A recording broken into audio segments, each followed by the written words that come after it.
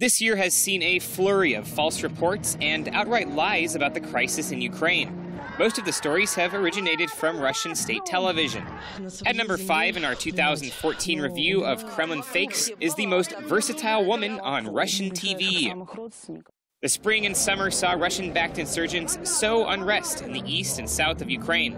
Russian television gleefully reported that residents were suffering under the Ukrainian government. This woman was among the emotional residents of Odessa advocating separatism. And here she is again in Donetsk, working as a lawyer. And again, heading a Christian nonprofit. And here she is again in Moscow, giving out her Russian phone number. In fact, she appears in videos throughout the conflict, playing a wide variety of different roles. So many, in fact, that Ukrainians decided she deserves an Oscar for her outstanding performances. The woman has been identified as Maria Tsipko, who is apparently originally from Ukraine Ukraine's southern city of Kryvyi Rih. At four is the tale of the slave incentive scheme used by the Ukrainian military. In early November, Russian state television quoted a man in eastern Ukraine who claimed that fighters in Ukraine's National Guard would receive a parcel of land and two slaves for their service. The man was identified by the channel as the head of the village of Stepanivka. But it turns out that the head of the village was actually someone else, and all the residents had fled the village after it was destroyed by Russian backed insurgents in September. In third place is the Kremlin TV footage of one young Western boy's gay porn delight. Near the end of November, Russian state television broadcast a story showing an American boy elated after discovering that his parents had decorated his bedroom with gay pornography. The report was meant to discredit Europe and the US as lands of moral decadence. But the video was not what it seemed.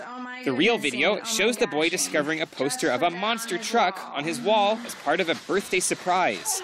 The company which made the original video called the Russian report hateful and bigoted and threatened to open a lawsuit. The MH17 tragedy has been a magnet for Kremlin fakery, as Russian media has scrambled to deflect blame for the disaster. In second place in our 2014 ranking is the Russian First Channel story featuring an alleged satellite image, which they claimed proved that a Ukrainian fighter jet had shot down Malaysia Airlines Flight 17 over the Donetsk region on July 17th. The image was quickly debunked, with astute eyes noting that the Malaysia Airlines plane was curiously similar to the first result for a Boeing airplane on Google's image search, and that the Malaysia Airlines logo was in the wrong place. The fighter jet was also shown to be of a different kind than what was claimed. And at number one is the tale of the crucified boy who never was. In July, Russia's First Channel broadcast an interview with a woman who alleged that Ukrainian soldiers had crucified a three year old boy in front of his own mother following the liberation of Slavyansk. She claimed Ukrainian soldiers took the boy and crucified him like Jesus onto a notice board. The woman then alleged that troops forced the boy's mother to watch as her son bled and cried before they tied her to a tank and dragged her around the central square. Months later, the channel admitted that its journalist did not have proof to back up the woman's claims, but said that the woman featured was not an actress.